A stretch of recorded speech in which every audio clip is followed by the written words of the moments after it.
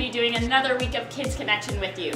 They say that time flies when you're having fun, and 2021 is moving right along. So we must be having a good old time. This month we're talking about responsibility. In case you need a reminder, responsibility is showing you can be trusted with what is expected of you. If you want to have fun playing a game, then you need to be responsible and play by the rules. And it's like that in real life too. That's right. We can follow some important rules for life that will help us play well and finish strong. I'm excited to see what game we're going to be playing today, but first, everyone needs to stand up and get ready to dance because it's time for our theme song.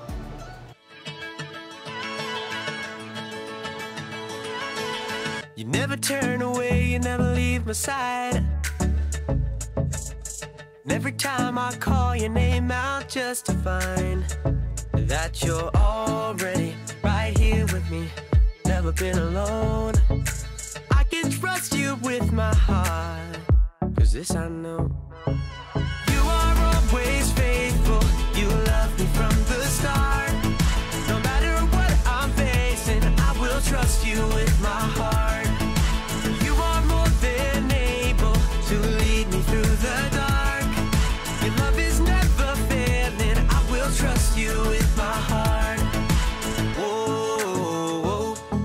Trust you with my heart.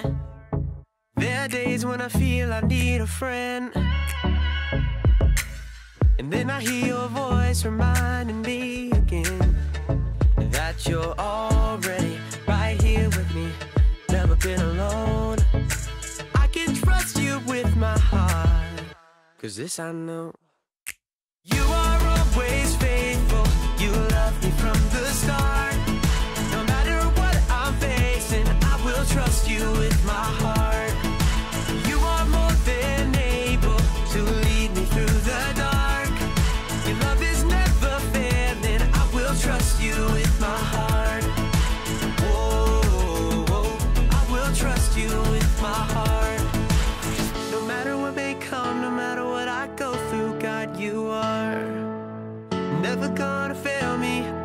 Trust you with my heart. No matter what may come, no matter what I go through, God, you are never gonna fail me. I will trust you with my heart.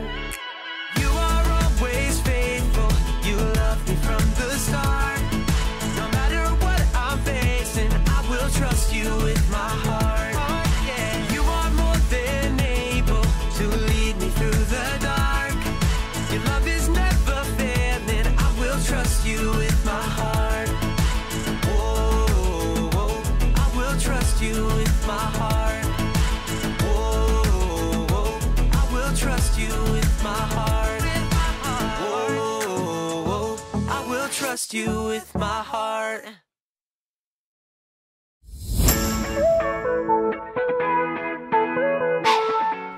So, what's the game today, Tarzan? I'm so glad you asked. Today's game is Pictionary. If you don't know how Pictionary works, here's a quick explanation. There's a word in this envelope. It was given to me before I came here, so neither one of us knows what it is. I'm going to open the envelope, I'm going to read the word, and then I'm going to start drawing the word. While I'm doing, before that happens, Smalls, you're going to set a 60 second timer, because that's how long you have to guess what I am drawing. Oh my goodness. Are you ready for this? Uh, as ready as I'll ever be. All right, but I'm first, I need to get my timer ready. All right, well, I need to read the word and figure out what I'm going to do. Okay. Okay, that's our timer sound. That's the timer sound. All right. Okay, one minute. One minute, 60 seconds.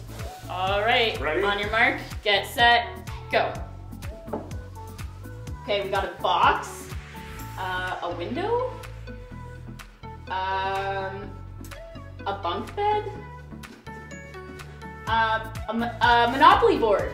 Yeah! Yay! Crushed it. How long did that take? I did that in 15 seconds. Awesome. Did you get it at home? So this was Alright. this was the board.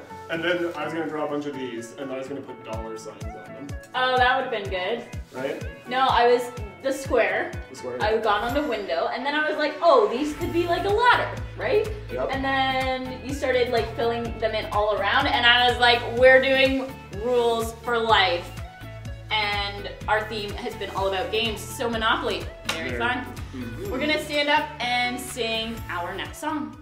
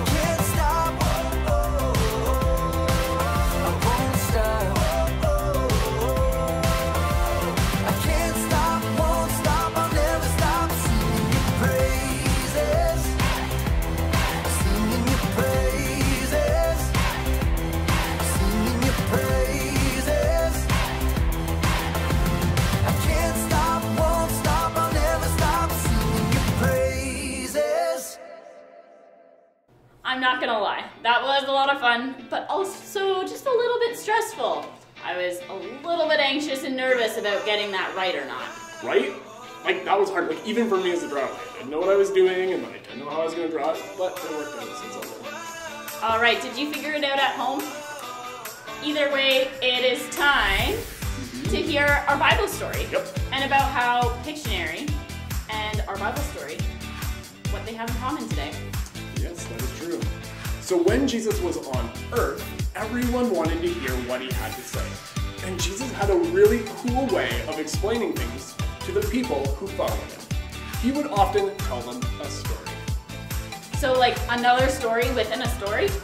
It's so cool, but sometimes it hurts my head keeping track of which story we're in all the time. That's fair. I'll try to be like extra clear this week. So, in his stories, Jesus would describe everyday situations to help people understand God's plan for the world for themselves. So one day in Jerusalem, Jesus told this story to his followers. At least our version. Our version? Well, there's a lot of different translations of the Bible because it wasn't originally written in English. So this is just the one of many possible ways of telling the story and understanding the story. That's kind of cool. Right?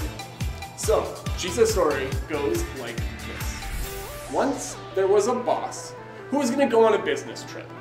So he called in his three servants, and he gave them each some money. He wanted them to take care of it while he was gone. Um, had they ever heard of a bank there, bud?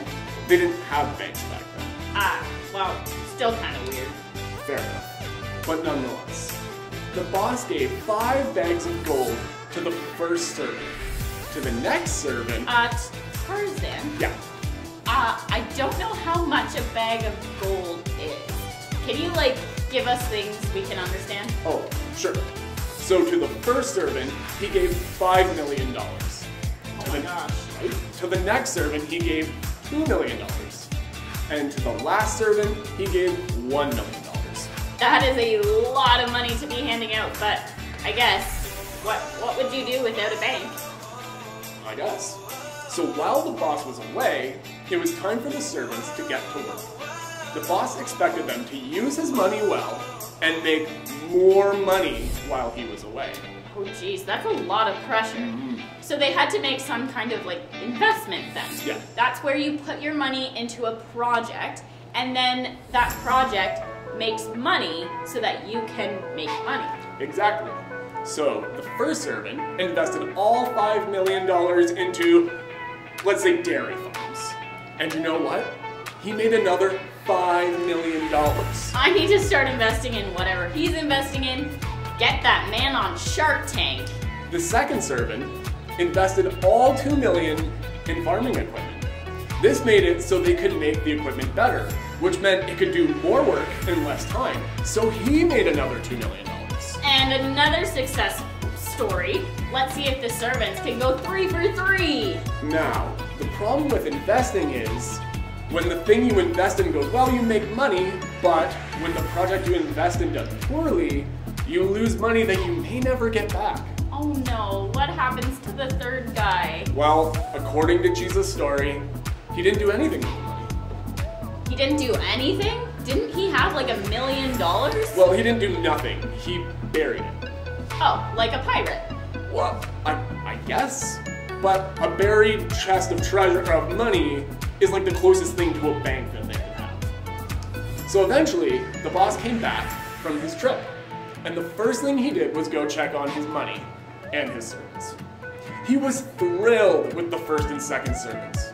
To them he said, Well done, good and faithful servant. You have been faithful with a few things. I will put you in charge of many things. But, But what? well, the the last servant, he didn't double his money like the other two. I feel like the boss is going to be upset with him. He was very disappointed to say the least. To see that the servant hadn't done anything with what he'd been given was really disappointing. He told the servant that he should have put the money into a project that he knew would succeed. Ugh, I hate when people are disappointed in me. That's not all. He took the last servant's $1 million and he gave it to the first servant. The first servant, who at this point had $10 million. Well, I want to say that this story here is all about money, but I feel like there's kind of a deeper meaning that you're trying to get at here. And you would be right. The message Jesus was trying to get across is that those who are responsible with what they're given will be given more, but those who waste it will end up with nothing. So, not about money. Well, the example Jesus used was money, and we definitely need to be responsible with our money and our possessions. But this life rule is about more than just those things. We should make the most of the gifts and talents God has given each of us. We should make the most of our knowledge and the things we're experienced in in our lives. We should make the most of the love God has given us by sharing his love with others. So, really, what it comes down to is that we need to make the most of what you've been given. Kind of like how I had I had to use what little details you drew mm-hmm. to figure out the whole word that you were trying to draw. Yep. That's so cool. The Bible. It's 66 books of history, stories, letters, and poetry that fit together to form God's one big story. The epic adventure of how He created us and loves us so much that He made a way to rescue us.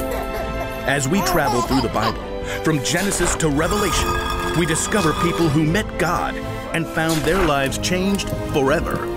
Now, for an amazing story inspired by the book of Matthew, chapter 25, verses 14 through 30. When Jesus wanted to share truth with the people that followed him, he often would tell a parable, a story. Here is what the kingdom of heaven will be like. These parables used everyday situations to help people think and understand God's truths for themselves. One day in Jerusalem, Jesus wanted to share a story with his followers.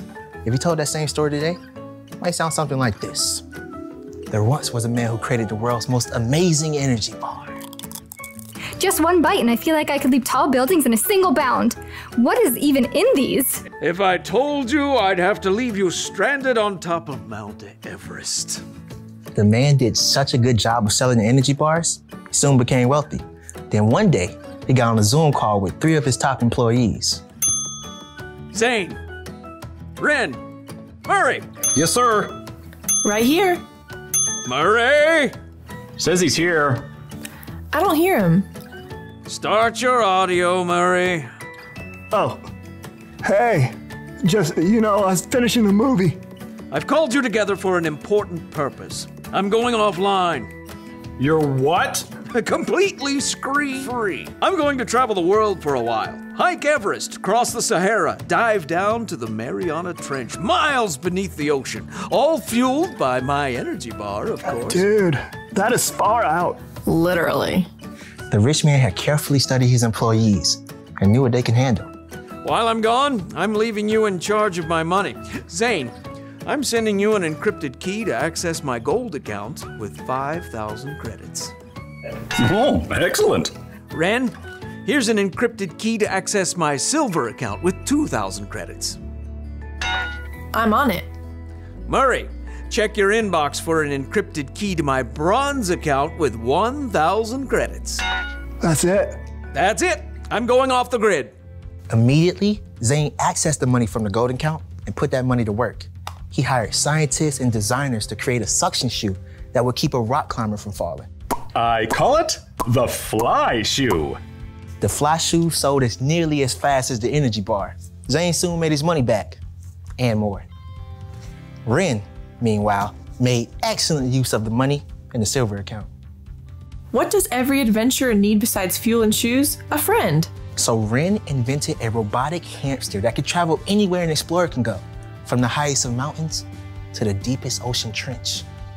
Soon, robotic adventure hamsters sold as fast as toilet papers. So that left only Murray, who sat looking at the bronze account on his computer screen. Only 1,000? It's like he expects me to mess it up.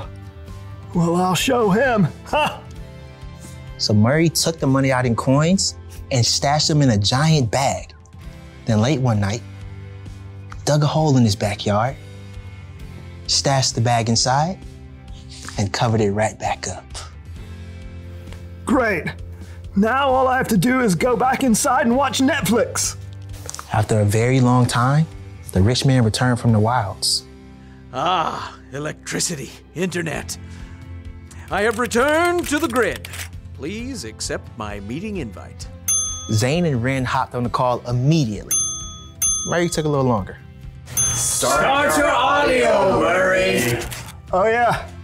There it is. I'm excited to see how you've handled my money. Zane? Through sales of the fly shoe, I've added 5,000 more credits to your gold account. Well done, good and faithful employee. You've been faithful with a few things. I will put you in charge of many things. Come and share my happiness. Now, Ren, My adorable traveling robotic hamsters have earned 2,000 more credits for your silver account. well done, good and faithful employee. You have been faithful with a few things. I will put you in charge of many things. Come and share my happiness. so, uh, Murray, Uh, oh, uh, yeah, hold on. Murray reached down and held up a muddy sack. He spilled the coins across the desk. how much is that? 1,000 credits. That's what I gave you. Yeah. Yeah, well, I knew you're a tough businessman. You, you make money even where you haven't worked for it. I didn't want you getting mad, so I just buried the money. See? It's, it's all safe. Murray offered a weak smile But instead of smiling back, the rich man went red in the face. You lazy man. If you knew I can make money even when I haven't worked for it, you should have at least kept my money in the bank where it would have earned a little bit. Uh, sure. The rich man turned to his personal assistant and ordered. Take Murray's credits and give them to Zane, who already has 10,000 credits. Oh, and, and take Murray off my payroll immediately. The message of Jesus' story was clear. If you are responsible for what you were given, you'll be given more. If you wasted it, you end up with nothing.